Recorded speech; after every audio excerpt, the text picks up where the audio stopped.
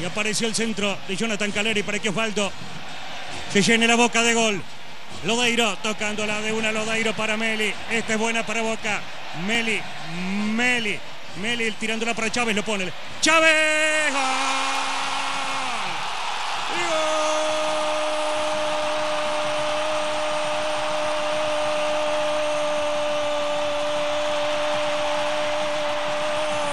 de Boca, gol de Boca, gol de Boca, gol de Boca, gol de Chávez.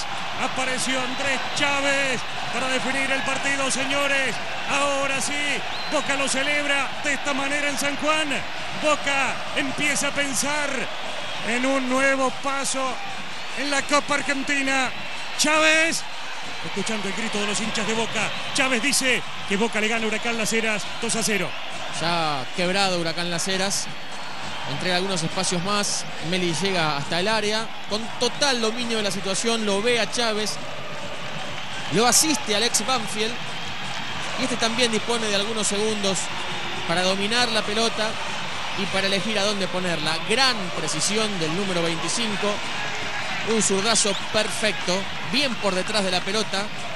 Para que apenas se despegue del piso. Y ponga una diferencia ya decisiva para el partido.